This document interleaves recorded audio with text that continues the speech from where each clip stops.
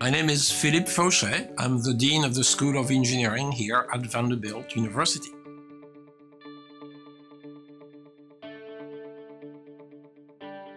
Federal dollars are really essential for us in academia because we do research that is very often too early for industry to pick up. And funds coming from the federal government, whether it's the National Science Foundation, the National Institutes of Health, or any other agency, allows our students and our researcher to develop new ideas, new technologies, and then we can look at what is possible with industry, but we need that first step.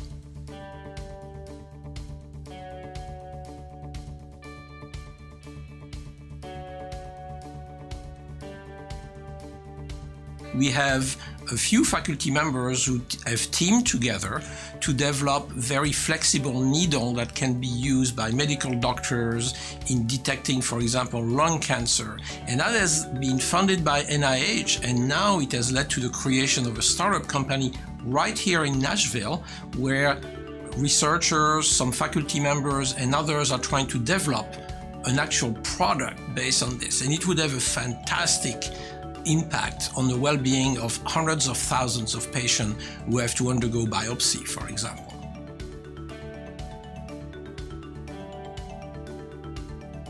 Our Institute for Software Integrated System, which is really composed of students, researchers and professors in computer science and electrical engineering, our institute has been developing a lot of open source software that can really integrate together proprietary software developed by different companies so that they can talk to one another. Imagine, for example, in the aerospace industry, you have the electronic software developed by company A, you have the mechanical software by company B, and so forth. They have to talk together so that your airplane flies or in a medic in the uh, hospital where you have a patient who has had surgery and he or she is connected to multiple machines that measure vital signs. These machines are made by different manufacturers. They have different proprietary software. Right now a nurse very often is to write down by hand what the reading is. Imagine the possibility of errors as opposed to now this open source software that our institute has been developing can actually have all those machines talk to one another and develop a comprehensive monitoring of the patient.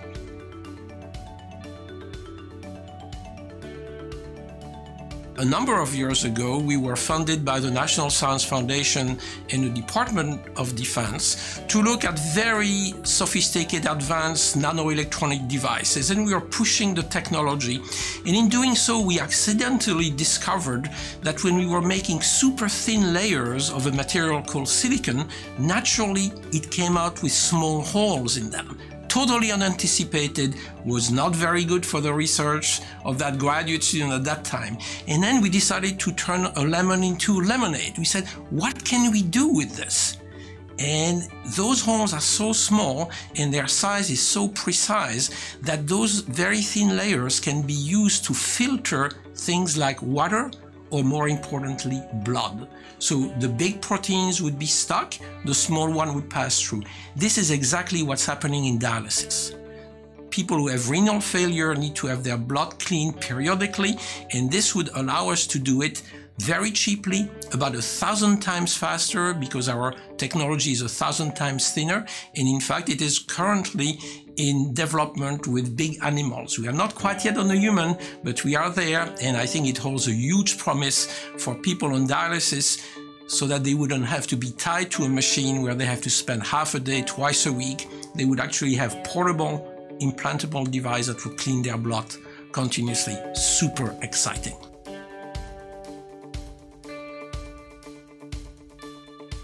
Congress in the United States has been very good at supporting basic and applied research that we conduct in universities, especially in schools of engineering. And the reason it is very important that this support continues is because we are exploring ideas that are not quite ready for industry yet. Industry does not want to spend the money, does not even sometimes think that this is a possibility. We are more free to conduct research that has not an immediate goal our goal may be 5, 10, 15 years from now. And so this is a way of creating the new knowledge, the new technology that will keep our country the leader in technology in general.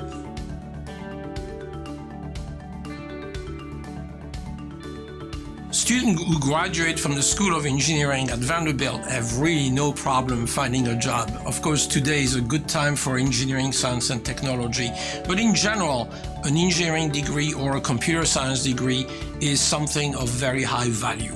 These are highly qualified people that go and join the marketplace.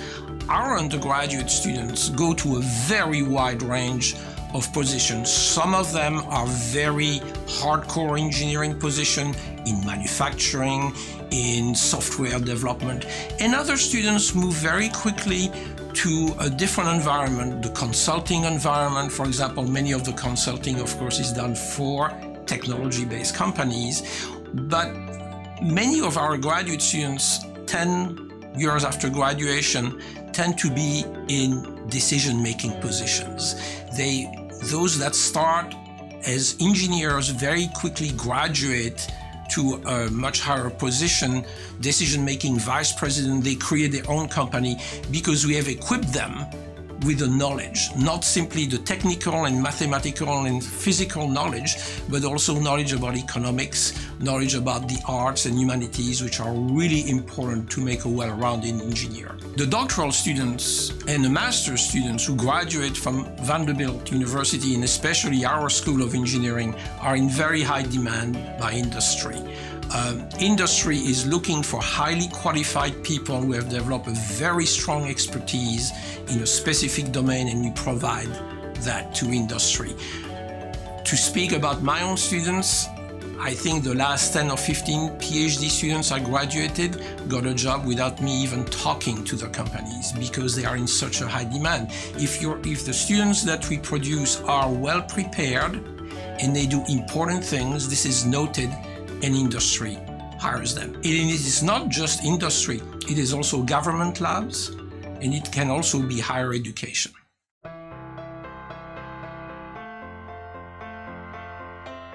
Vanderbilt University is a private university, but we are and we live in Tennessee, and we are part of the fabric of Tennessee. So a good fraction of our master students, PhD students, and especially undergraduate students, once they graduate, stay in Tennessee, many in Middle Tennessee, but some in other places in Tennessee, and contribute to the economic development of the state.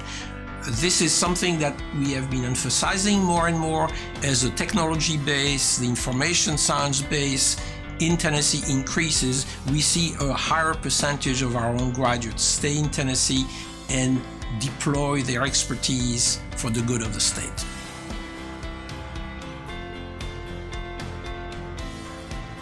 So the School of Engineering receives a good amount of support from the federal government, from multiple different agencies, from the Department of Defense, the National Science Foundation, NASA, the National Institutes of Health, and other agencies.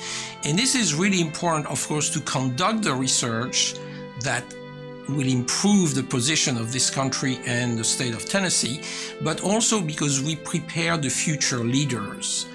In, in other words, students who do research in the lab as a sophomore or a junior or graduate student to do their doctoral dissertation in our lab, they acquire the tool and they themselves will become the leader, the economic drivers of this country. They will create companies, they will be the st leading staff in existing companies. They are the economic engine. So we can say with 100% certainty that the money that the federal government spends on our research in the School of Engineering at Vanderbilt not only produces research results that impact the public, but also we produce the students will be the next generation that will impact the public. Go Dores!